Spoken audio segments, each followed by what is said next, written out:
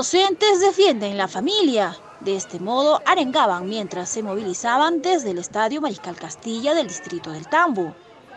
Los padres de familia del colegio Nuestra Señora del Rosario realizaron esta movilización en rechazo al contenido sexual en libros distribuidos por el Ministerio de Educación. Salen en marcha, como lo habían anunciado. Contra la ideología de género, netamente sobre el link perverso, malévolo, pornográfico, que incita a nuestras hijas a la perversión sexual. Eso es nuestro pedido, señorita. ¿Usted ha visto el contenido del link? ¿Ha podido entrar por las redes sociales? Porque muchos dicen, lo he visto, me han dicho, pero ¿usted lo ha visto? El link lo tengo. incluso un día entras, al otro día como que no se puede entrar, pero sí se puede entrar al link.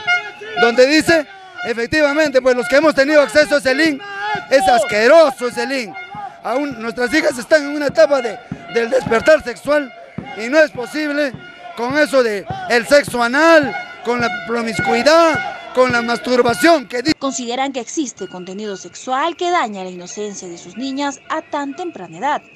Por ello, seguirán en movilización si se persiste con estos textos. Netamente es letras, es letras, pero ahí está la conducta sexual, toda la sexualidad de antaño, basado en en hechos que no vienen al siglo en que vivimos, ¿no?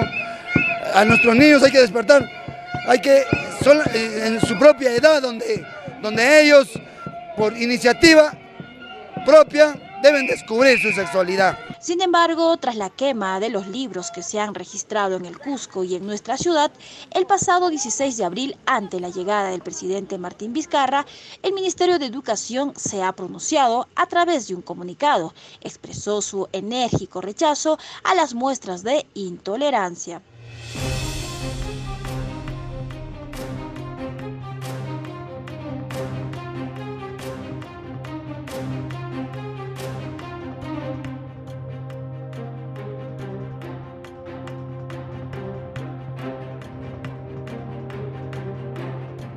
Lo cierto es que si existe o no un contenido pornográfico, como lo refutan otros, los padres distribuyeron parte del contenido del link tan cuestionado a la ciudadanía para explicar la razón de su preocupación. Supuestamente a otros nos dijo el exdirector de educación, el, licenciado Héctor eh, Chávez, de que esta página está bloqueada. Sin embargo, no se da, estaría dando así porque eh, estaría en algunas oportunidades bloqueada, pero otras sí hay ingreso a la página.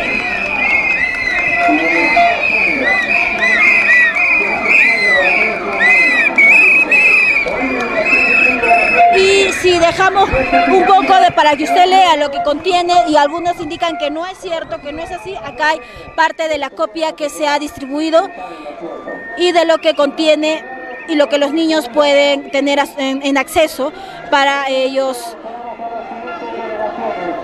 leer ¿no? este contenido que está dentro también de sus textos, pero el link sería este.